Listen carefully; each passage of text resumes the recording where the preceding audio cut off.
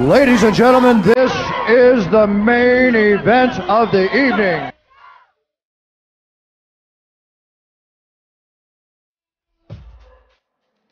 Well, hello and welcome to the Plymouth Raiders podcast, the first of many, with myself, Pablo Cheeks, and Mr. Paul Nicholson.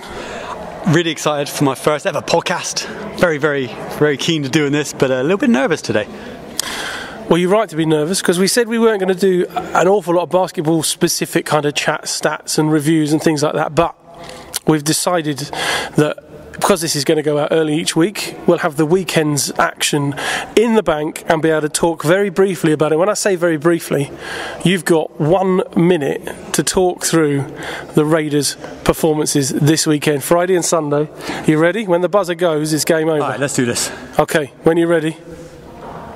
Okay, so first game against Worcester, come away victorious in a very, very low scoring game. Um, what I would say about this one, I can keep it quick because don't underestimate the power of defense.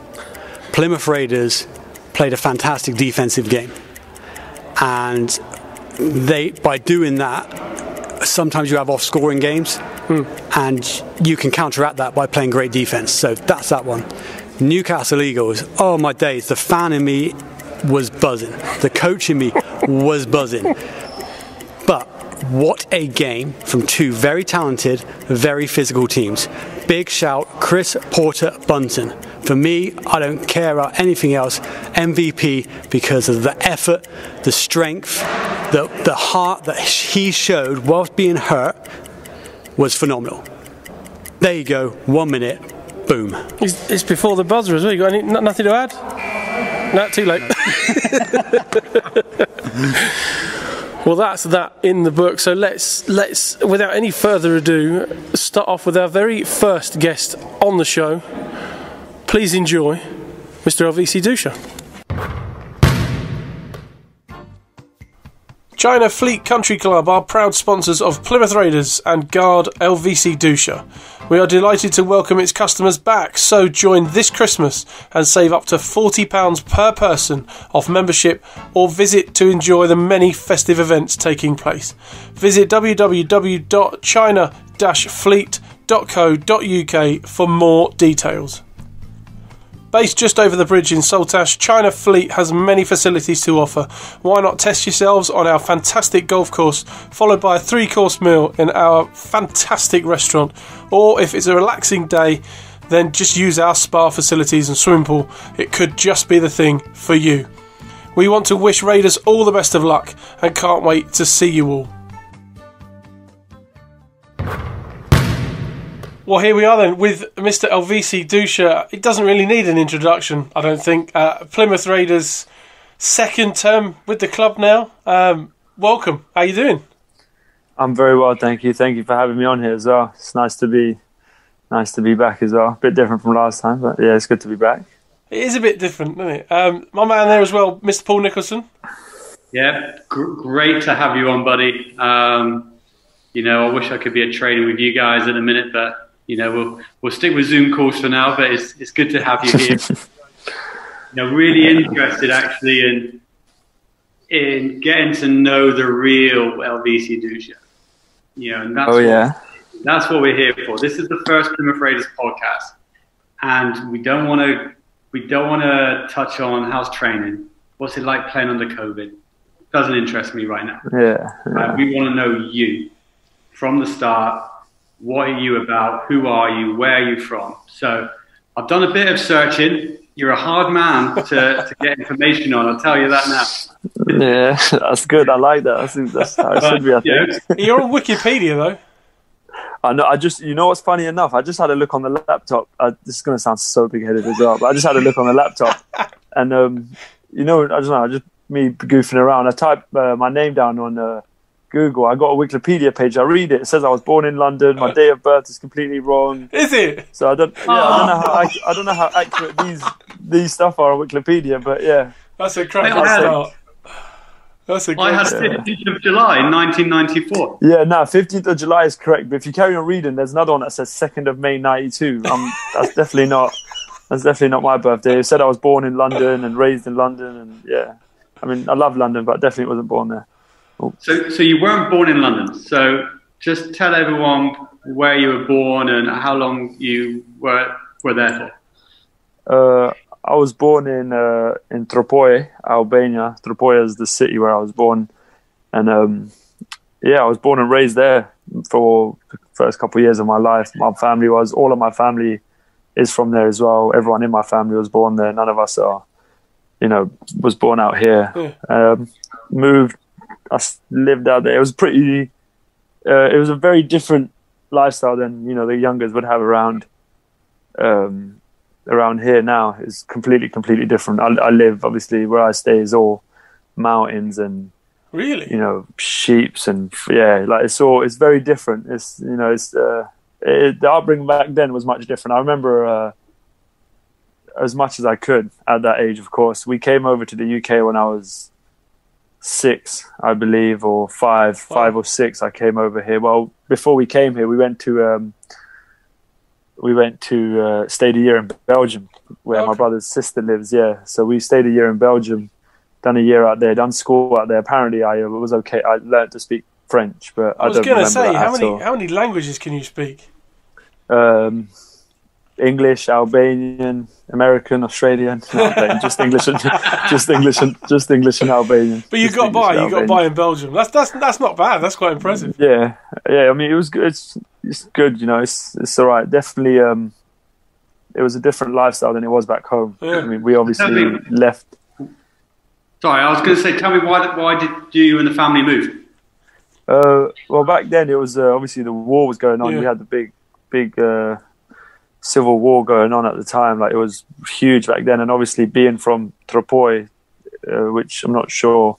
You know, I always get the joke of, "Oh, you're the guy from Taken" because it's filmed in Tropoi. So it's always, it's always like, um, oh, it was the kind of city that was hot at the time for the war as well. And my dad's got a like my grandparents who on my dad's side have passed away, but they, they had a massive family and we lived out there as well at the time. So it was very like um, it, was very it was dangerous a lot of the time. Really? Like yeah, a lot a lot of the time. Majority of my family, uh, my grandma had I think she had fourteen children, I believe, and I think six of them passed away when I was young.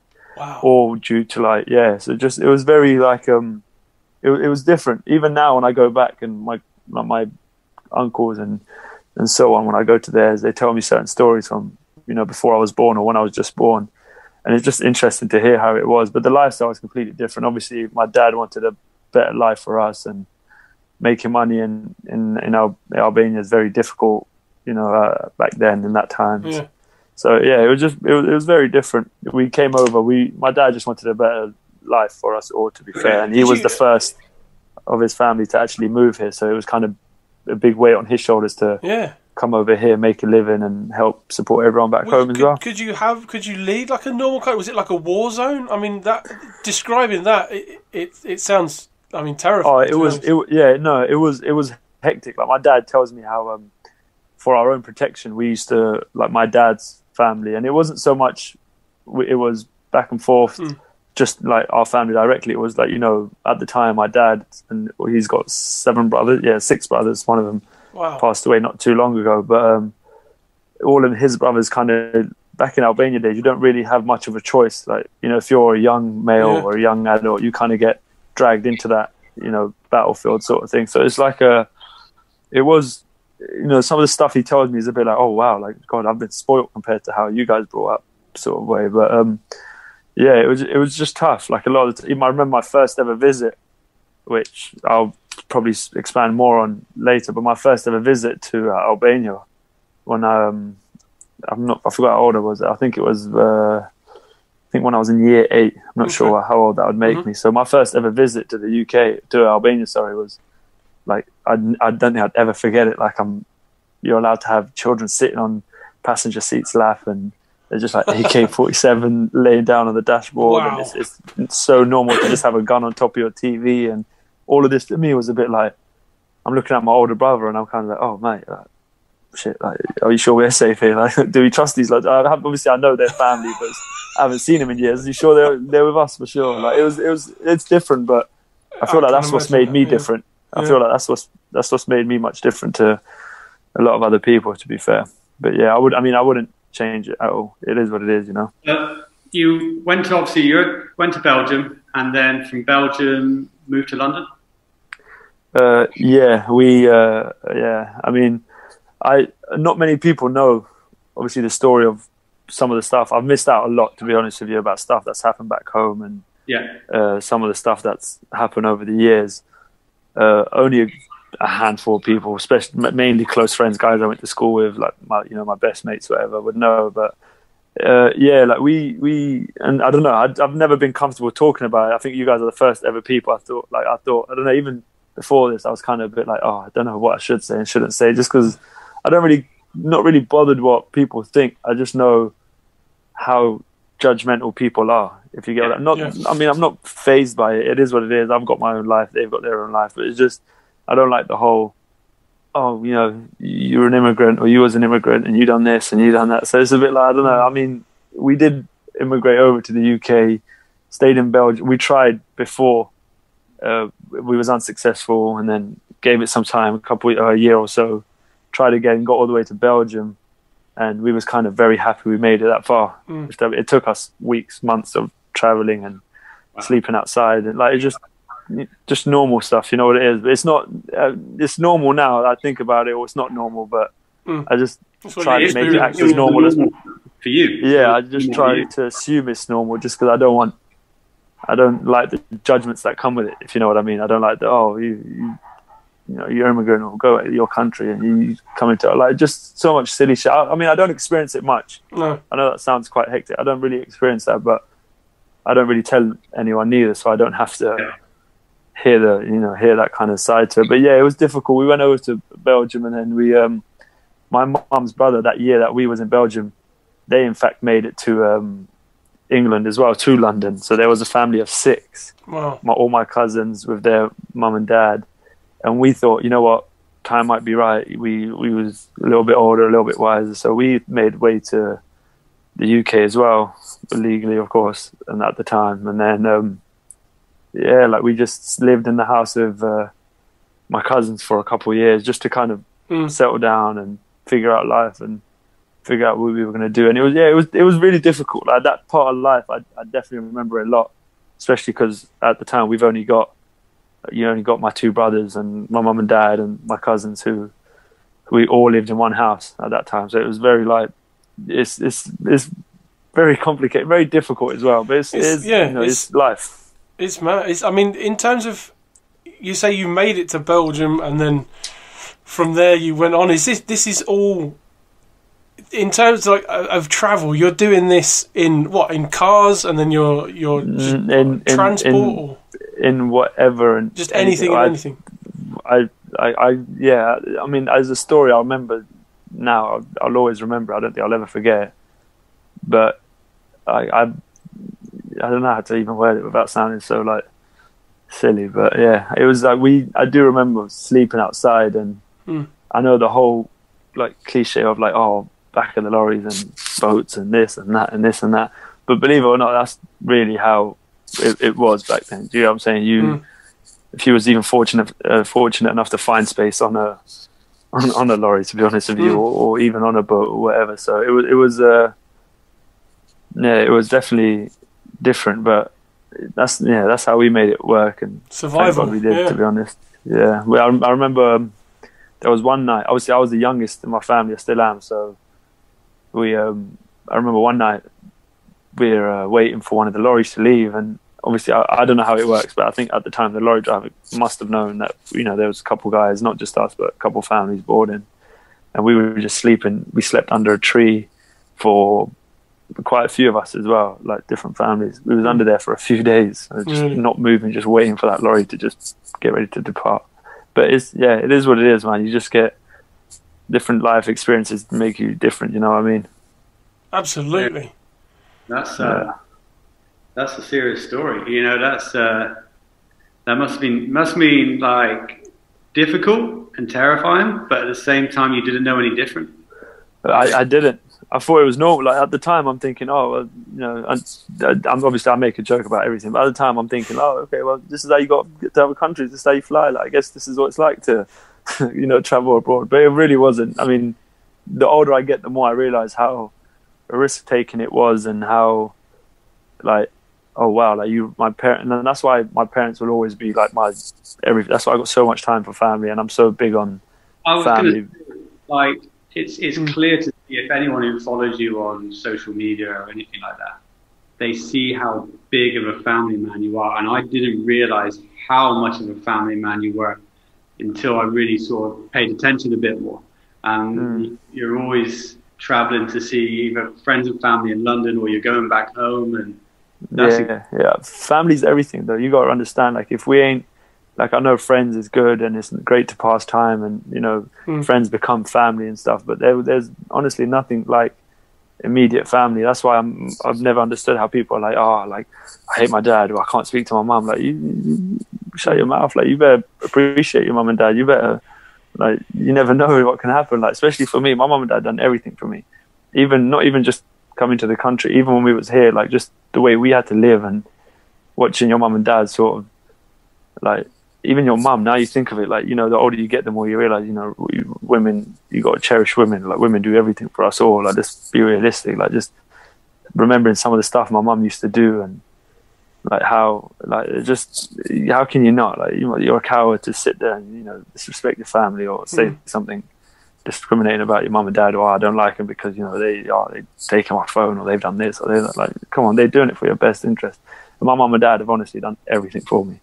Like I, I I'm far from spoiled but I'm the first person to say they've done everything for me. Like I'm I'm spoiled. Like they've spoiled me but I'm I'm you know I'm not a spoiled person at all but they've definitely spoiled me in the moving us to a better country giving me opportunities allowing me to do anything I want. Like it's just you know I'm, I'll be ever so grateful. So the least I could do is see him as much as I can you know?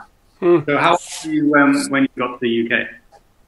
Um, sorry. Um, we got here in nine in two thousand, so I think I was no, I was about five. I think it was around the 2000, 2001. Mm-hmm. Yeah, sorry, I was about yeah about five years old. Was completely new to the country. I mm. was like I'd I'd never seen anything like, it. And especially going to a city like London as well.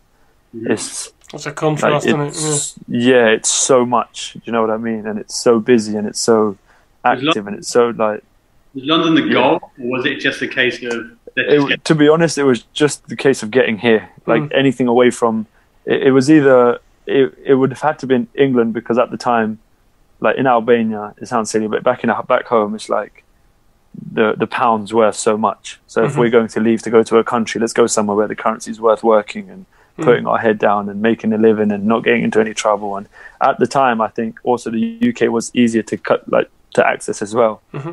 It, from I'm I'm not sure, but I'm just from what I think, but but yeah, it was it was just it was it was easier. UK was the goal, not so much London, but I think that's that was you know coming to London was a, a big thing, especially for for myself. It's a big city. You need to you know, so you kind of have to hold your own. Going to school in London, obviously learning to speak English. I learned to speak English through just sitting in the back of a class and just picking up people different. So it was it was very difficult. So it was it was, it, but it was good. Like it's it's why I speak how I speak now. Like you know, obviously people always judge me like, oh, why do you talk like you know, hmm. you're you're from Albania. Why do you talk like you're from born and raised London? But I only I grew up in London. Like I learned to speak English in London. Like I only know how to speak how they would in London. I'm sure if I came to Plymouth, I'd have a Plymouth accent. sound like I'd a speak Janner, Plymouth. Yeah. do you get what I mean? Like it's just it is where it is. It's where I you mean, were. people don't always understand. So it just you kind of just play the cards you're dealt. Whereabouts in Whereabouts in London was it? Uh, well, when we first moved, I don't remember the area, but the older I've gotten, I, I right now, for example, I know London very well. Like I know London off the back of my hand, to be completely honest with you. So uh, when we first moved in, it was it was by East London. I remember always being by uh, by um, uh, what's the name of the station? By the Big Brit. I've not East Ham. It was somewhere in East London for sure. I remember because I went there a couple years ago. Well, when I was in school with my mum, and she was like, "Oh, but this is where we lived with your cousins and." Etc etc and i was just like oh wow like, i thought i've always been west london my whole life but i guess not. It's a bit of east as well but yeah but we was there for a few years and then moved to west london and then within 10 years we was just in houses and houses. Like it was it was yeah it was hectic. We were just moving in between council flats and estates and just hmm. wherever we had a roof to be honest with you. So it was a lot of just and this is all over. London. Yeah, but majority of it was in West London because the councils tend to keep you in that same Okay, borough in the borough, yeah. out there. But yes, but it just it kind of moves you about. So we'd always be in like in a UB2 or TW5, which are different Mhm. West London postcodes, or W12. It will just move you around wherever it can, really. But it was it was it was it was good. It just felt like London felt like home, and it still does. That's why I'm so like, you know, I'm where am I from? I'm, I'm from Albania, but you know, London will probably always be home for me just because of Yeah. I, I was raised in London. I grew up in London. Everything about London is just myself, you know. So, so fast forward in a few years, um, you've obviously gone to school in London, and at some point, someone's put this orange ball in front of you, and you said, "I quite like this. This this seems Yeah. fun." What was the last bit? Sorry, it Yes, out. when, when did that really start? The basketball. Um, to be, to be honest with you, in school, like I was, uh, well, firstly, we all had to behave in school, and my parents worked from the earliest till late, late night every day, seven days a week. They still do till this day, to be honest with you. And um, we'd stay in after school clubs. So you know the after school like PE, extra extra curriculum subjects with. So me and both my older brothers played every sport we could. I promise you, I'm back in school. I've got a, a cricket um, trophy. I've got a cricket trophy. We've won badminton tournaments, volleyball tournaments. Like there's every sport. Like I'm so into all my sports. That's why I'm so like active right now. And um, basketball is one of them sports as well. My older brother, in fact, both my brothers played, but my older brother more so played um, basketball as well. And uh, he was really good footballer. He was a semi-pro footballer by the age of 16. So I was like, in my head, it's like, oh well, I'm not going to be as good as him. So let me like let me pick a different sport, whatever. And then I started meeting guys. I'd started meeting pros at the local gym I was going to, and they were telling me all about like their experiences. They're telling me, oh, I'm traveling in the world and I'm playing sports and I'm I'm being paid for it. And you you just hear people's story and you're thinking, wow, like you're telling me you go around playing this sport and get paid something that's outside of football. I only ever knew football back then, Mm. so it was like, oh wow, like that's actually an an option. Yeah, it just started working. Basketball become really fun as well. It was stopped getting wet as well during the winter. You know when you're playing indoors and everyone's football, I don't have to go watch my brother anymore and wait for him to finish to walk home. So it, was it was good, but it was just it, was fun. Basketball for me has always been like a just always been exciting. Like the fact that you can play one on ones, two on twos, three on threes, four on fours. Like it's, it's just it's no, it's endless. You know, it was, and it was fun. It was I enjoyed it a lot. I enjoyed the the the work that came with it. Like I enjoyed. It's easy to say work hard and you'll get good, but basketball is a perfect example of that. Mm. Like you you bust your you know you work your ass off doing a certain skill in basketball. I promise you, you're going to get good at that skill. Like it's just sports. It's just rewarding. Mm. Whereas in football, it's like you can try millions of times to hit a crossbar. I'm going to have one good day where I'm just going to hit the crossbar endlessly. You know, it's not. It's not so much. Like basketball has its rewards for all the work you put in. Like for me, it was just. It was fun. Like I just enjoyed it. Working hard kept me.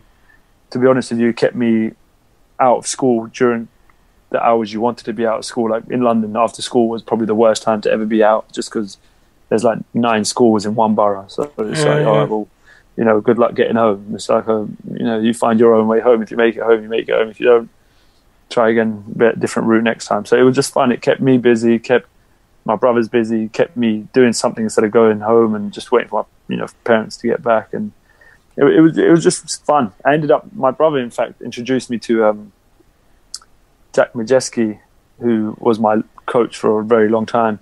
That, that was Back a, at London United, yeah. Mm. Yeah. He introduced me to him, and at that point, London United were a really successful team. They'd won nearly every cup, and I remember guys like Jack Stannard and even Kalen, who plays for Surrey Scorchers right now. Even Kalen was like a um, one of the young young guys on the team as well. And I used to go watch him play, and I just used to love the pace of it. I'm thinking, oh, I can do all of that. Like, let me, you know, give me a chance. And then, in fact, Jack became my older brother's form tutor in college.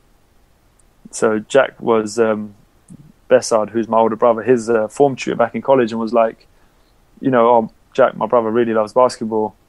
Um, can I bring him to a game? So he brings them down, whatever, and then eventually managed to get me to practice. And then, yeah, me and Jack just got along, started loving it, started getting more opportunities, playing basketball, was able to, you know, go to an academy and start meeting guys. And I made friends who are, you know, I'm, I'm, I'm an uncle to one of my close friend, uh, close friends who just had a baby, and we met through basketball. So it's like, you Mm. know, I'm, I've made some serious friends from it as well, and it was just fun. Like it just opened so much doors. The second I took basketball serious, it just it was endless for me. Like it's the best thing I think I've ever done. Did you join Harefield Academy, which was the London United link, right? That yeah, was London United Harefield Academy. That's that's when I joined. 11, studied a BTEC in sport. Yeah, yeah, yeah, yeah. I remember that. It was. I found that quite difficult as well, to be honest. You know, that that's interesting though because I'm relatable to that with the academy guys we have here. We have a lot of guys they, who do BTECs. And Yeah. they they worry that oh if I'm doing a BTEC I'm not doing A level so I'm not going to be able to progress into to university or whatever and I'm trying to explain I to thought I used to think that as well. I honestly used to think I used to think BTEC. I'm like BTEC's, you know, is for guys who don't study well like myself, or guys who, well, if I'm doing a BTEC, how am I going to get enough, you know, scores to try and get out to America, or how am I going to, you know, get into a university I want to get into? But the older, the more I started studying, the more I found out BTEC is in fact you can still get the same amount of A levels. It just requires a bit more work and less exams. Mm, and I was like, coursework, that's perfect for me. Yeah, just a loads of coursework. And for me, I was like, that's perfect. If I ain't got to do an exam, which I'm really not good at doing an exam, you know, I, I don't have the attention span to just sit there and concentrate for two hours and go crazy. For, two, I, for me, it's not that. So BTEC was so suitable for me. I, I think I would choose BTEC even if I was smart enough to do A levels. I don't think it's got anything to do with being smart enough. I think it's just wanting to do it. But I think I'd still choose BTEC, and it, it just worked out perfect for me. BTEC was like the coursework. It gives you enough time. You get yourself a couple of weeks to do some work. Mm. I'd take that any day over two hours of an exam. I was the same. I was terrible. We did. I'm a bit. I'm quite old. BTECs were. Uh, we had. Uh, we had BTEC's been going on for that long, have they? We had GNVQs. I'm messing with you. oh, you're right though. we had NVQs and GNVQs, oh, which yeah. were like worth. You did one course, it was worth like five GCSEs, and there were no exams. Oh, yeah? It's, oh, it's perfect. I should have. I should have studied back then. If that was possible, I should have told my parents. To, should have told my parents to leave sooner. It was a lot more blagging back then, if I'm honest. I would have been perfect, probably. So, so you were you were at the academy for a few years. Um, you, you obviously made a, a good impression. You know, I'm sure there was plenty of stuff in between. But 19 years old, when you're still like that's your final year of academy. 19 years old, you're turning pro.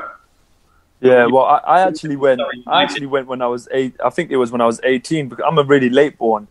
So um, I'm a, I'm a July baby. So uh, Mm. when I was actually eighteen, I think it was when I'm eighteen. I'd have to ask Dan Rowledge because he he knows everything. But I think when I was eighteen was when I played my first ever game in the BBL, and um, yeah, oh, what an experience! I was talking to it the other day about the, with the Sky guys. It was like my first ever game. We lost by like forty. I was like, I'll never forget that again. really?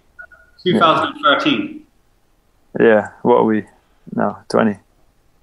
Yeah, so you left your aca- you you um, were in academy 2011. Been there, you would have been there for like two years or so. I think so it was you- the 13 season when it was Surrey United. Yeah, yeah, yeah. My first was with United, yeah. Yeah, and I had a look at the stats, and tell me if I'm wrong, but to be 18 or 19 years old and average nine points a game, three rebounds, four assists in your Mm. professional season, 32 minutes a game, that's a hell of a lot of pressure on a young man.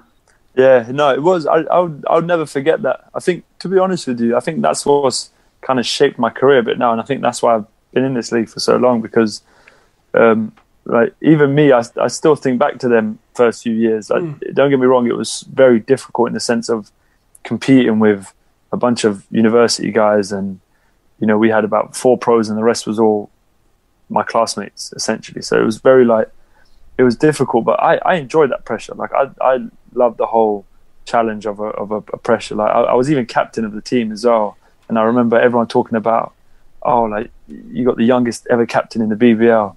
And in my head, I'm thinking, why does everyone make it like it's not a big deal? Surely it's not a big deal. But as the years have gone on, I'm just thinking how important it is to actually be able to be a captain to a, a, a professional side to, to to deliver every time. And I think the numbers the numbers are there just because I was all, I was on the floor. Like I was when I was young, I still kind of am.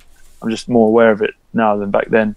I've just always been a workhorse. I've always been like, if I'm going, to, if I'm going to play, if I'm going to, you know, tie my laces up and get out there, I'm not going to come in and just, you know, faff around and do a bit of this and do a bit of that. Like I'm going to get in there, make the other guy's life a misery, try and make our team win the game, and if I do it, I'm you know all good, like just sorted. But yeah, I've never been the type to faff around, and I think back then having that mindset back then with a bunch of guys who just probably saw you know a young guy, just made it so much like you know helped me get them hmm. points and then assist and and so on. Yeah, that's crazy. There's veterans in the league now which aren't getting those numbers. Hey, that's. That's a hell of a be- don't be start, shy. though. That is a hell of a start in the BBL. You Yeah. so it what's that like? I mean, you you've you've kind of downplayed the the fact that you're a captain and all that kind of stuff, but so it, did, it just didn't phase you at all. You just went, No, it, it it it did. Don't get me like I was I loved it. Like I I really enjoyed that pressure. I really enjoyed that role. I really enjoyed being a captain. Like in my eyes, wherever I am, even if I'm not a captain, even on this team, you know, Ash is of course the captain, but I'm still I'm, I'm the most vocal guy on the squad. I'm the most in Mm. practice. I make sure everyone, you know, everyone's either on on time or everyone's sort of knows what they're doing. If I don't, I don't care if it's Ash, who's you know GB international, all the way down to one of the uni guys. If you know if I see you in the wrong spot on the play, I'm gonna let you know. Vice versa, they're the first person to tell me, you know, V, you're in the wrong spot. Like it's just how I've always been. I've always kind of been a, a leader. I've always kind of been an, an alpha male, especially how how I was brought up. Like my dad, yeah. So like in, in my household, my dad's like a real alpha male kind of guy, and I've Mm. kind of always grown up looking at him like my dad's really.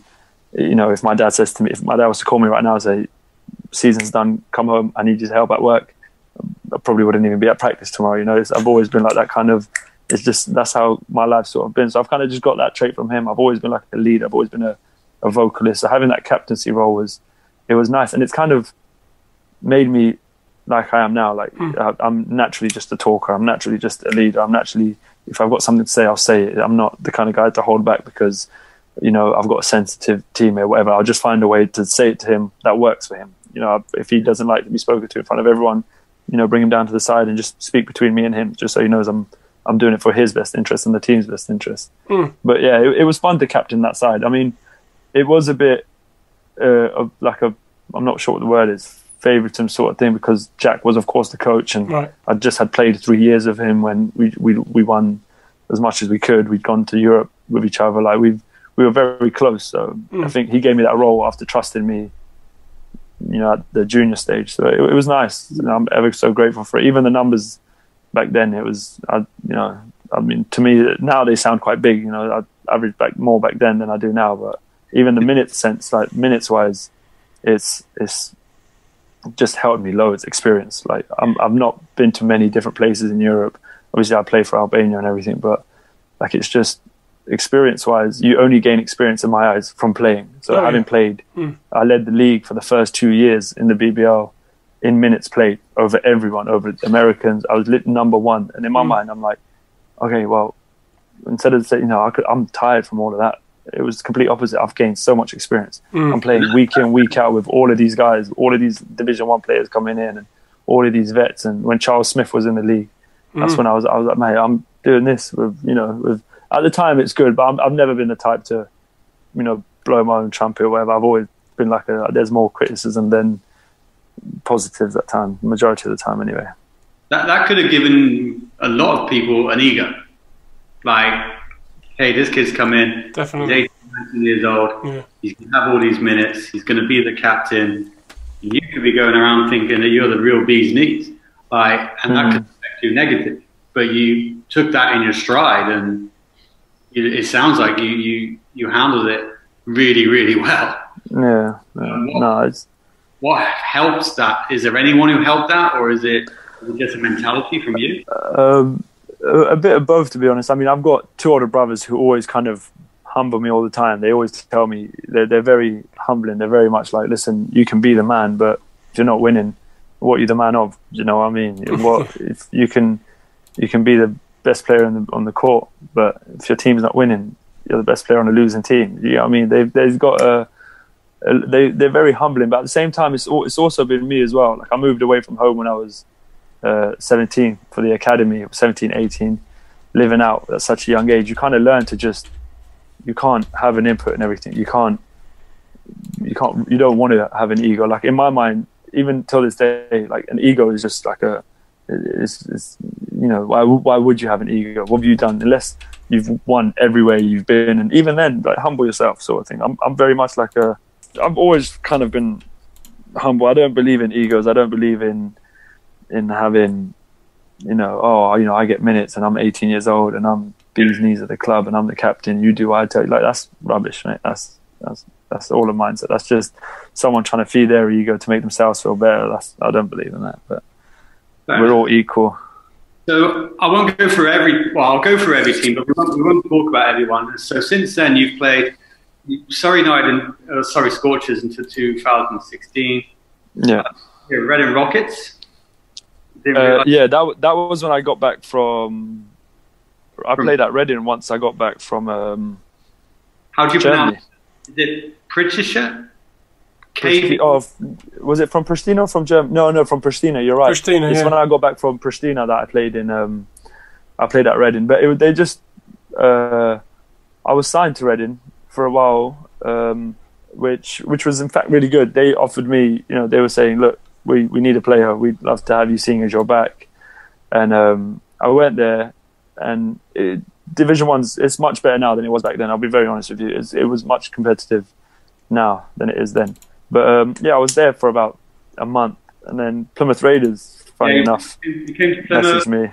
um, Worcester, Cheshire, obviously London Oh, yeah. Um, Oh yeah, oh yeah, Leopards, and then back on, back obviously in Plymouth. Is yeah. point of that which stood out for you negatively or positively, or Um, stands out to you? Neg- negatively, I think playing for a lot of teams is, especially if not finishing out a season, is quite. In my eyes, it's negative. It's not something you want to do. You know, if you play that team, you want to stay there. I mean, me going to Reading was I was at home doing absolutely nothing.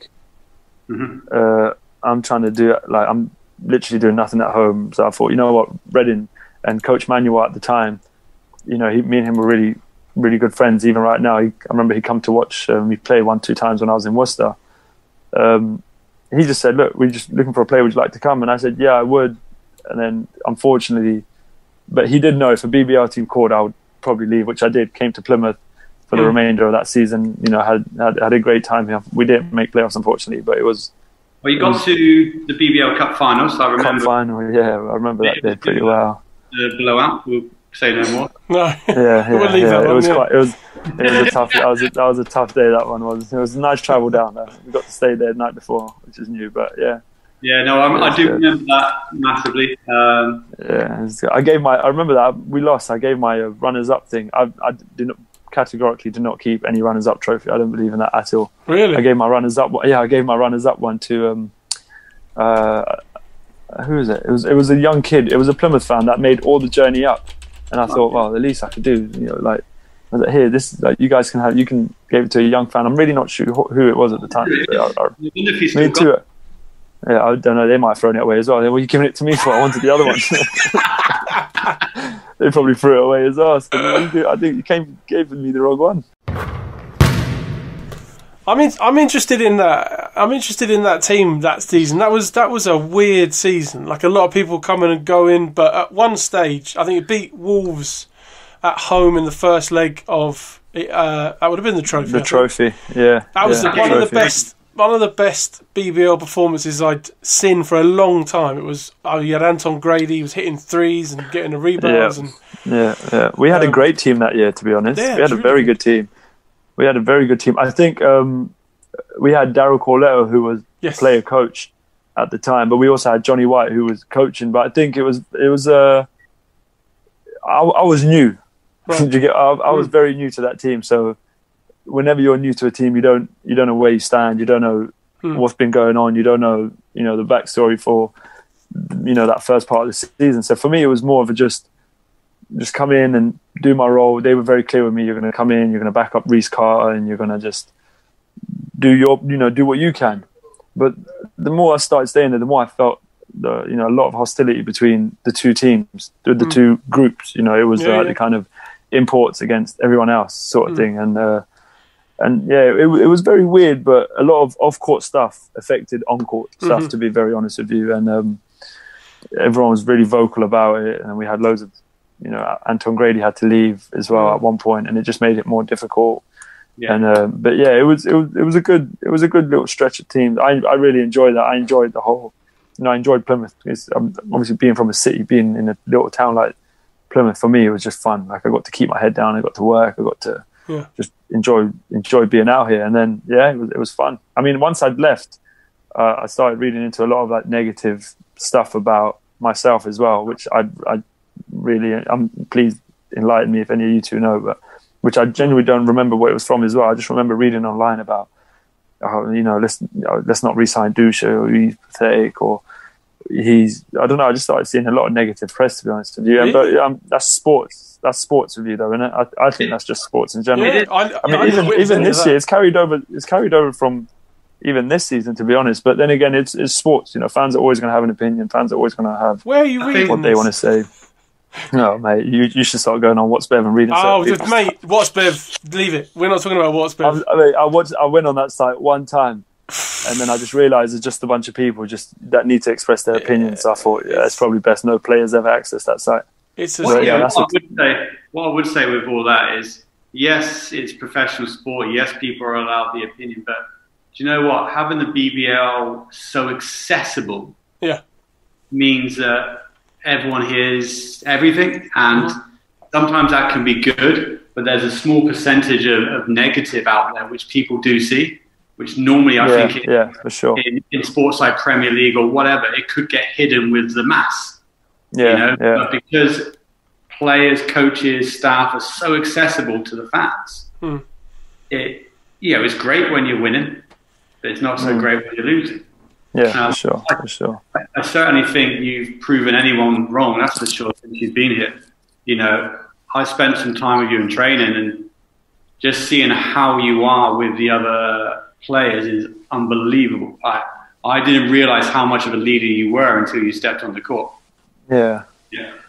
Yeah, no, I, I I appreciate that. I mean, I'm I just obviously fans don't really get to see that part. They only get to see what we're you know what we mm-hmm. let them see really. But I mean, fans are always going to have something to say. I mean, even me coming here, I knew was going to you know a few people weren't going to like that, or you know guys are going to have their own saying about it, and, and and it's tough in my mind. There's nothing I can really do. Just Yeah. come in here, win win as much as I can. Hopefully, win some championships for the city, and then just yeah, like hopefully change their minds. I, I, rem- I just remember um, once I'd left Worcester, someone uh, someone who works for the BBL sent me a link to. Uh, I don't know how it worked. Just sent me a link to like a a page where there's just loads of different comments Yeah. and just just reading about it. Yeah, but the, other than that, I've not really been. I use Twitter most of the time to just keep up to what people say. But everyone's entitled to their own opinion. Fans, players, everyone. For me, my my only concern is not concern, but my only kind of thing is just keep it professional. Like the second you want to get Mm. spiteful, personal, or in my case, it's ever get ever get like like real personal. So you know, if anything like family wise or or Yeah. targeting certain stuff, then I would definitely have something to say, and I would probably, you know, I'm, I'm that's how I am. I'm Yeah, I defensive of my family, and I always will be. Yeah. You know, So talk But, about yeah. Worcester. Talk about Worcester. Just move in a sidestep there. Yeah, that was nice little Euro step there. no, Worcester, Worcester, Worcester was fun. Like Worcester was my, my, my favorite year, to be honest. This, Worcester was one of my favorite Five years. games. Oh yeah, that was lovely. that That was lovely, man. That's my teammates, though. That's definitely all credit to my teammates. Fifty assists in five games is, is assist says it all, and it's teammates. They just done a great job of scoring the ball. To be fair, but to be honest, they they allowed me to do it. They they trusted me enough to. Right, well, we you know you're a floor general. We're going to give you the ball and you just deliver, and that's exactly what happened. You know, they was in the right spots and we ran the right sets. PJ gave me, you know, trusted me a lot at, that at that time as well. So did Danny. So it, it was just fun. I really enjoyed Worcester. Like I will be very honest with you, I was like so key, like my mindset was set on staying in Worcester for for a while. Like Mm. I did not see myself leaving Worcester at all. Yeah. Like I genuinely did not see myself leaving Worcester when I was there at the time. Obviously, issues arised when I was there uh, with me and one of the imports, uh, which I, I don't know. I don't really want to get into, but it's not. At the time, people thought it was all at the press conference come out talking about. Um, uh, oh, I forgot what the word is. It's such a big word. I don't even remember it. It was like a. Um, I'm awful with that. It was There's just no, some. place, no place for those words on this show. Yeah, like was, exactly. Let's keep this key stage three for me if that's possible. But but yeah, it was just they'd come out saying it was some off court stuff, and I was in the owner's office numerous amount of times, like, telling him, "Look, like I'm, I will do whatever you need me to do to prove to you I'm not involved." But uh, and then it did. I ended up just unfortunately, I ended up resigning. I ended up handing me and my teammate at the time ended up handing in our resignation just because of how, uh, for me personally, it was how I was backed into a corner to make a certain decision, turn around and speak up on something which wasn't my business, or Mm. or or you know essentially go backstab a, a teammate. And I'm not really that person, so I just I ended up leaving. And then on the press release, of course, they tagged me in the same press release as my teammate, and then everyone in Worcester just started moving ballistic. Even till this day, when you go down, they I just get a lot of bad like negativity from Plymouth, and I think not from Plymouth, from Worcester, sorry. Mm. And I feel like some of the fans, like league fans, not so much team fans, see that, and also you know some being from Plymouth who also kind of have their in, their impressions of me from my history in Worcester as well. So it's a bit. so I don't, I don't, I don't know really. It's, yeah, but it was. I loved it overall wise, basketball wise. I, I absolutely loved it. I played my best basketball. I got made some lifelong friends who I'm still in contact with and talk to nearly every day. And Mm. yeah, I had a great season. You, you ended up with 14 uh, assists at a career high um, against Raiders in that season. 17, 17 against Bristol Flyers home. Don't do. I Mate, if see. you're, if you're going to do your history, mate, let's get the right one, yeah? Hey, this is on your Facebook. On my Facebook. Yeah. Uh, I'll probably put that up on Facebook just because it was against Plymouth. So I thought, let me make sure everyone's getting down to Plymouth seats. no, but yeah, you're, you're right. I did have um, a week before that game. Actually, I had 17 on when we had the Sky Sky deal. I had 17 with um, against Bristol Flyers home, and which I think it was a cup game. Maybe that's why uh, it come Ah, up like, out of league action. But yeah, Yeah. it was it made shit, passing the ball was just something I love doing. Like it just I'll you you're what, in the right spot. If you're talking about press releases, I've got a couple for you right here. Pablo, you're going to love this. Go on. I got Go on. I got two press releases. Okay, Uh-huh. the first one is a really nice one, and this is going to give people an idea of who you are. 2017, a teenage Basel fan who has bravely battled back after recovering from severe burns enjoyed a surprise visit from Worcester Wolves star Elvisi Dusha just before they distar- discharged him home from Birmingham Children's Hospital. So tell us about that. That to be honest, that his name's Lloyd Sanders. We're still friends till this day. Me and Lloyd. So he burned he burned sixty eight percent of his body Oh, on a, in a in a fire. And funny enough, that three weeks before that, I burnt my arm. I'm not sure if you could, well, you can't see it anyway. You won't be able to see it on the chat. But I burnt my hand. I burnt my hand um, in, in a similar fire as well. From one of it was it was one of my teammates was cooking. He completely forgot he'd left the stove on, and it just Oh, caught shit. fire to the entire kitchen. Yeah, and Is, I ended up that the other burning press release I've got here? yeah, that's the one where it said that Elvisi Wilson can't cook Dusha's injury was caused by a freak accident in the kitchen. in the kitchen. Yeah, which had which had nothing, which had absolutely nothing to do with me. But I can't go around and be like, oh, it's not me, it's it's that American. So um, so uh, yeah, I ended up. So I was traveling to Birmingham anyway for my own treatment. I was I had to go every 48 hours to keep getting treatment and washed Wow. and treatment and washed and disinfected. And then I heard obviously Lloyd. I heard about Lloyd's injury, so I thought. well, let me let me go meet him. And he's a bar, you know, he's young, plays basketball. He's really tall as well, and he's a lovely guy. He's one of the most nicest kids you'll meet. His family was amazing. I met his little sister, his mother, all of them. So I'd, I'd go see him when I'd go get my treatment. I'd drive down to Birmingham uh, Children's Hospital, and I'd see him. I'd spend you know hours, about an hour a day with him, Hmm. and um, we ended up inviting him and his entire family down to the Worcester game. Gave them the front row seats Oh, which nice. you know Worcester, Worcester. Thank you to Worcester for even doing that. It was, you know, they were really helpful with that as well. We gave him seats. He came to every game. They had like a season ticket. I made sure all my tickets and the players' tickets were always given to Lloyd and his family first, and he just loved it. Like when I got there, he he was really beat up. Like he, he didn't want to walk. He kept going on his wheelchair. He kept having to be supported up and down. Wouldn't take stairs. Would take lifts. And I'd just go sit there and I'd take him gifts like every week. I'd send him shoes or I'd give him jerseys and I'd give him like my GB jersey or I'd give him my Albanian jersey. So I'd just go and give him everything. And then literally two weeks later, or even the day I met him, he was so like excited to just meet someone who obviously to me in my eyes, I'm just a regular person, but him in his eyes, he was like, Oh, you know, a professional basketball player. So he he got up, he put shoes on by himself, and he done his own laces, which at the time is, is such a big deal for the doctors to even see him do that. You know, so he started walking down the stairs by himself, and it was just it was just lovely to see him. And he's he's become a friend till this day. Like we talk to each other quite often. I check in on him and his family, and he, he's such a like, he was yeah. I'd, I'd nearly forgotten about that, mate. But yeah, it was such a good experience doing that as well. I had a great time in Worcester, mate. Honestly, it was fun. But then the whole burning in the kitchen thing, that was nothing to do with me. That's I'm not. man. I'm not a snitch, but I'm snitching on this one. That was nothing to do with me. All right. All, all I'm uh, saying Absolutely is, anytime we talk about food or training, like you explain you can't cook, and now this all makes sense. yeah, that's why I don't let anyone leave. Even right now, if someone's in the kitchen, for example, if Will or, or Big Mike are in the kitchen cooking, I'll go and they're using the stove or the oven. I'll go sit there and cross my arms and just wait for one of them to finish. I'll be like, listen, make sure it's off, switch it off by the wall, make sure it's clean. Like I don't want any.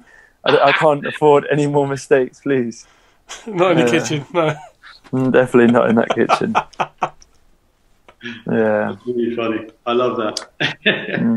No, it was a good experience, mate. I, I, I really enjoyed it. Worcester was a, Worcester was a great time, man. Seriously. let's talk. Um, let's talk. Always balling. Let's Yes. talk always balling. You you joined. He's got it on now, by the way. It was podcast, I've got it on right. but he's showing it. He's he's got I the know, gear yeah, on yeah, you now. can't see it. I've got it on right now. You, you joined right now. always Always- balling in 2018. uh, when I was at Worcester. So whenever that, my first, yeah, yeah, yeah, 2018. So Yeah. talk through how that came along. Um, so Asim, of course, is the the founder. He's it's his brand. It's all him, and he's a lovely person, amazing, amazing person. He he works and will work with absolutely anyone, any team. He he will do whatever he can to help. Um, he's funny enough from lives in 30 minute drive away from where my parents live. Oh, really? So uh, yeah, so it was. Uh, there's a red cross by your mic, Paul. I don't know what that means, or have I done that? That that was me just muting my microphone while my dog was running around in circles. Nothing to worry about. Oh, okay. Sorry, I did. I thought I'm, I don't know how to use this app, so I thought I might have done something wrong. But yeah, but As- Asim's amazing, man. He he he asked me to be a brand ambassador, and um, he just he, he was awesome. Done a, was a brand ambassador for him for about a year or two, and then after a while, obviously my following became really big. I had a big season in in Worcester, which kind of helped the next step to mine and his relationship. He he kind of proposed the idea, or I think I approached him with it with the sense of having my own sort of brand within a brand. Or I think I, one of us approached. I'm not sure how it started, and um, it just started off with just something as basic as t-shirts, and it started doing quite well. And the guys, even at you know fans in Worcester and around the league, would would purchase stuff, and we were both kind of like, oh well, wow, like it's quite like even to me till this day, like it's like oh wow, like there's actually people wearing a shirt that's like kind of represents myself. You know what I mean? So it's like a it, it was just big for us. And then the more time's gone across, the more we've worked with each other. You know, he, he's got loads of brand ambassadors now. They'll they'll do anything to help out basketball. They support loads of events. In summertime, you know, they, they got their noses in everything. Like Always Balling is such a good brand, man. And I promise you guys, in a few, not even a few years' time, in not, I know we're not Nike. It's what I always say. I get it, we're not Nike. But in a few years' time, or I think sooner than a few years, Always Balling is going to be a massive provider to, to UK sports and and just guys in general, sportswear in general. Like uh, honestly, the, the materials got so much better over the years. The the pricing's unbelievable. Like Yeah. you, you know, you're paying you're paying like forty pound or thirty five pound for a, a dry fit t shirt, and we've got the exact same material, and we're offering you know like fifteen pound max or seventeen fifty or Mm. do you know what I mean? So it's just yeah. But honestly, all, uh, so for me, that's that's that. He's helped me kind of have my little brand in in, in his in his uh, clothing line as well. So thank you to him. I, It's, I- and it's I- nice, I mate. agree The with these. material's lovely. Oh yeah, I can't I can't talk highly enough. And we I run the uh, the BBL's only fantasy league, and Yeah. for, this has been the first year he's not sponsored it because we've got another sponsor, but he's he's sponsored it and was Oh, throwing mate. people gifts and, and prizes and and yeah, it's awesome. The, He's What he does he's is awesome. amazing. He he is honestly amazing. Like what he literally what he does is is like even I say to him sometimes, oh, I'm like you're just a nice like you're just a lovely guy. Like he's honestly just a nice guy. Like even uh, we're working with something with the Raiders now, which I don't Oh, want really? to speak too much about because Ooh, yeah, inside- inside info. It'll be coming out soon. Yeah, it'll be coming out soon. We're working with something with the Raiders as well. So even having the Raiders, like in my mind, I've got a, a, BBL franchise kind of supporting my sort of other business on the side and Yeah. Asim's business on the side with always balling and stuff. So it's just it's so like it's honestly it's it's massive, mate. So those of you who haven't seen So if you you've got a new line, you've got a new range coming out, have you? uh, yes, we do have a new range coming out, but we've also got something coming out exclusively with just the Raiders. So Nice. say that'll be big time as well. I think that'll be, yeah, I think it, it'll catch a lot of attention as well, especially with the you know the support the Raiders get and how how loyal the fans are to the Raiders down here. So the uh, t-shirts and everything. So it'll be to nice get to me, see them with like- uh, and You need to get me something without the branding saying like always not balling or like always balling or like because I don't do that anymore. I just sit down. Like, we're gonna get you is always one. sitting one, yeah, and There- always, there is yeah, one. like always always your whistle, something like that. Staying indoors. Yeah. Staying, oh yeah, we do have an staying indoors one actually. So yeah, that's perfect for you.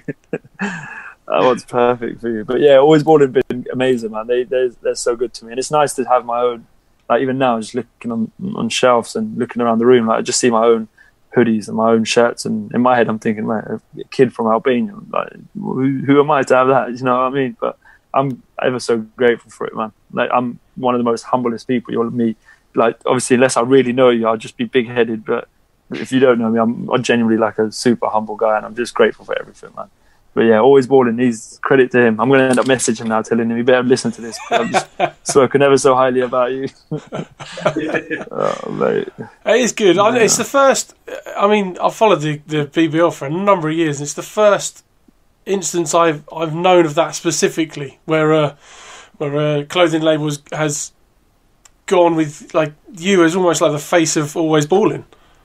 Yeah, pretty much, and then that's and that's that helps me as well. I'm just gonna put my phone in charge. One second, and that um that helps me as well. Like that's that's another thing, especially with sometimes like me. I'm I'm I'm a very positive person, but I always I always think about stuff logically. I always think about stuff like in a different aspect. So for me, it's like being the face of a brand. In my mind, it's like, well, I've kind of always got to be professional. I've always got to be on point. I've always got to, you know, I mean, you can't afford to take that time off because I'm not only representing myself or the team I'm playing for at the time, but even when I'm not signed anywhere, I'm I'm the face of always balling. You know what I'm saying? So I don't want to be uh, getting into trouble. I don't want to be doing the wrong stuff. Do you know what I mean? So it's it's, it's grow up as well. It's made me grow up more of a, of a as a, as a person, not Hmm. just a, a player. Do you know what I mean? Yeah.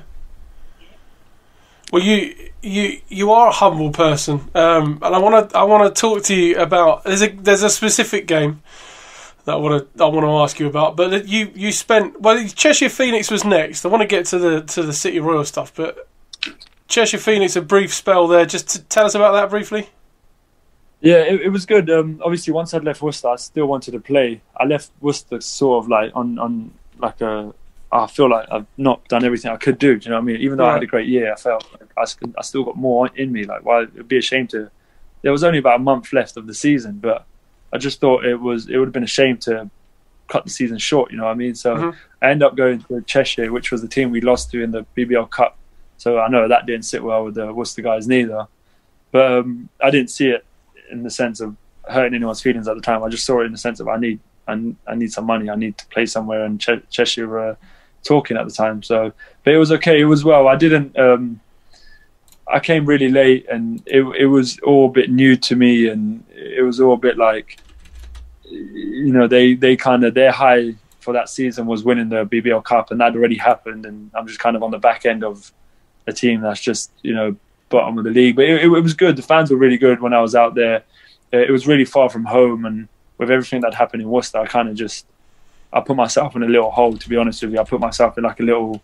Just stayed in my room all the time and stuff I wouldn't normally do. Like I didn't mingle with the guys, and Right. you know they'd all go out or something. I'd stay in my room. I'd just play video games. I just kind of put myself in a little. Obviously, depre- depression's a massive word, so I definitely wasn't depressed. You know, but there's people depressed about much serious things in life. But I put myself in like a little hole where I just didn't enjoy being there, and then Mhm. it affected me on court, and it affected me in practice, and it started affecting the coaching staff and the team. So I, it just wasn't. It, it, it was great. Like I'm so grateful to even play there, and uh, you know, if if, the t- if things were ever right again, would I, I probably would ever go back there again? But I'd go back there with wanting, with the mindset of actually wanting to be there. Like, I, at the time of leaving Worcester, I was sort of in a mindset of I just left the team. The best thing I could probably do right now is go to another team. When in fact it wasn't. It was sort of, you know, just deal with the repercussions of having to leave a team where you were just kind of a start in and things were going well instead of just jumping elsewhere and still dealing with the mental aspects of that. But yeah, Cheshire, Cheshire was okay. It was just I don't think it was the right environment for me at that time. No, that's fair. Yeah. And then London City Royals, and, and specifically 2019 trophy final. Um, Oh yeah. the I mean the, the overtime period in that was was Elvisi Dusha time Yeah. in my opinion having watched it I mean how you you started that overtime quarter like like you hadn't like it was fresh like you were the only player left on the court that still had the legs to run like you were and and it won the game Yeah, no, I don't know. Just second win. I thrive on being on being like in shape, staying in shape, and not allowing yourself let go and stuff. And what other stage to prove it than the trophy final? We're going against London Lions. There was twenty, I believe there was like twenty-one players from from the UK. Majority Yes. of them being London yeah at that game. Do you know what I mean? So it was for me. It wasn't just well, it was all basketball related, but playing against guys who you play with every summer, you see with every summer, you bump into, you know, in the tube station or something. Like it's Yeah. just it's a big it was a big deal. Like I wanted I wanted to win that as well. Like I'd lost the BBL Cup with Worcester, I'd lost the trophy final with Plymouth, and uh, in my mind, like I just started developing like, oh, I really like. Oh, I can get all the way there. I just can't cross the finish line. So it was just really nice to get it, you know. And sorry, excuse me. And there was no better team in my mind to do it with than Mhm. guys I've grown up with. Ed Lucas, we're born on the same day. Like we, um, you know, his, his family's like my family. Like we're just with everyone. With Will, who I've got an amazing relationship with. With, with Ash, who I've known for years. With Matthew, who is like an older brother to me. With Jules, who's practically blood brother to me. Like it's just just with guys who you you never thought you'd win a championship with. So it was it was amazing to win that game. We wanted that game too, and then even playing well in the fourth. It, for me, it just came down to everyone played well. Like my my theory of me playing well is everyone playing well. So if I do the right stuff, it reflects on them. You know, what I mean, if I pick up full court and play defense, then the person next to me better play good defense as well. Otherwise, I'm not going to bust my ass if you're going to just relax, sort of thing. But yeah, it was it was a hell of an experience, mate. I'd do it all over again if I could. Orlan Orlan Jackman told me that he uh, he had a sp- he specifically talked to you. Made it sound like he was coaching. If I'm honest, is this is it true that he said to you, "Look, you've been here several, like you just said, really, you've been here several times before in the finals and you've not done it. This is your time." O- OJ, the funny thing with Orlan, yeah, is there's there's nothing he won't say. Like o- OJ's a coach. He's a life coach. Do you get what I mean? Like Yeah, OJ yeah. will coach everyone. Like I, I do believe he said that. Maybe not as as accurate as I was just explaining it, but OJ's a vocalist. Like Orlan, like I was, we were having this conversation the other day. Like any team in the UK or anywhere would be lucky to have OJ just because of how vocal he is. I can't believe he's not in the BBL. Yeah. No, but he doesn't want to be in the B. Like Orlan, I teased him earlier. Like I saw someone tweet or someone put on um, Instagram, like our NBL guys, who do you think's the next guy to make the jump up? I tagged Orlan as a joke, just to be like, oh, you know, your, your chance is coming, sort of thing. But he, he, if, if he wanted to, he could be, to be honest with you. But he just, Well, it's got to be his choice because he could he could he'd almost walk onto any starting five. for sure, for sure, and just his leadership is is, is zero to none. Like he's he's unbelievable. Like his leadership is unreal. He holds people accountable. He he he makes it clear that it's all for your benefit. Like he's amazing. He did have a good chat to all of us um, before the trophy final. Me and him, uh, yeah, like he's a very good friend of mine. I could speak hours about OJ. Man. I got a lot of love for him. That, that's another But show. If, he, if he's trying to take credit for that, if he's trying to take credit for that overtime win, next time you see him or speak to him, tell him I said it's not entirely true, but he did. He did have a massive part. he did have a big part in it. So, so uh, we could just we're time conscious here. Just want to talk last two things really: short-term future and long-term future. Short term for me would pretty much be a. At the moment, right now, I'm in the mindset of getting my body to the best, like physically, I can best get it. I'm, you know, Yeah. I'm, I'm in the weight room much more than I am. I'm trying to do, and I want to win something with Plymouth. Like, I've got this mindset of, okay, maybe I'm not, not many people here are, are fond of me, whatever. But the only way I can turn people's heads is by physically bring, like, winning. You know, nothing says anything yeah. better than your game. You know, so for me, short term is all getting my body back to hundred percent, back to where I think I'm okay. Like not, you know, not feeling the fatigue as I am so much right now. I know we got there's excuses left, right, and center, lockdown, this, this, and that, but there's not really any excuses to be honest. I'm trying to get my body back to where it is. And long term plan, I'm. Um, uh, well, I don't know if it'll fall into short term. I'm actually I want to get into coaching. I've got some other outside basketball stuff I'm trying to sort out. I'm looking at buying a house, which I want to do, which probably sounds nothing to you know to you guys or people listening, whatever. But to me, it's been a big deal of mine for a long time, trying to get onto the property ladder. But outside of that and more sports related, I'd love to coach. In the long term, I, I would love to coach. I'd love to maybe go back to Albania. I'm looking to hold a camp back in Albania. Maybe I don't know. Nice. yeah, I don't know if I can do it this summer, just because of um, uh, sorry summer 21 just because of I don't know how you know COVID restrictions might still be affecting things at the time. So I'm thinking yeah. about doing a, a, camp within the next two years to just try and give people more opportunities. I mean, I'm not I, I'm, I'm not loaded with money. I'm not a big a big deal or whatever, but I just want to give guys in Albania a chance. I get loads of guys back home messaging me talking about, oh, like, can you bring me here and can I, what can I do to get there? And in my mind, it's like, well, the least I can do is like uh, you know, help them out or give them something. So even if it's something as simple as running them a camp, having everything recorded, and just getting loads of footage for them to have, I think that's the thing that they lack a lot on out there is footage. So I really want to do this camp. I was meaning to do it last summer, but obviously um, a, a, family member of mine passed away, so going back home, I went for different reasons. So it was just it was loads of different stuff. So, yeah. but yeah, but that's that, that, that's one of my you know just little goals in my head. I got loads of goals. I got loads of things I want to do in my mind, in my head, and stuff. But for me, then helping Albania back out, you know, would be amazing. You know, I'm, I was born there. The least I can do is never forget them, sort of thing. Absolutely, yeah. and and I mean, even in terms of BBL teams long term, you see yourself sticking around in a Raiders jersey for a while.